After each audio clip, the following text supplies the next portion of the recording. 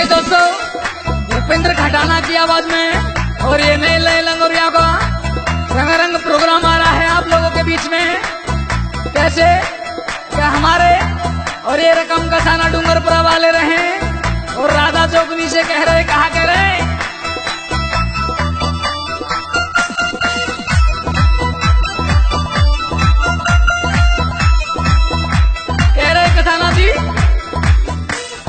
joking que en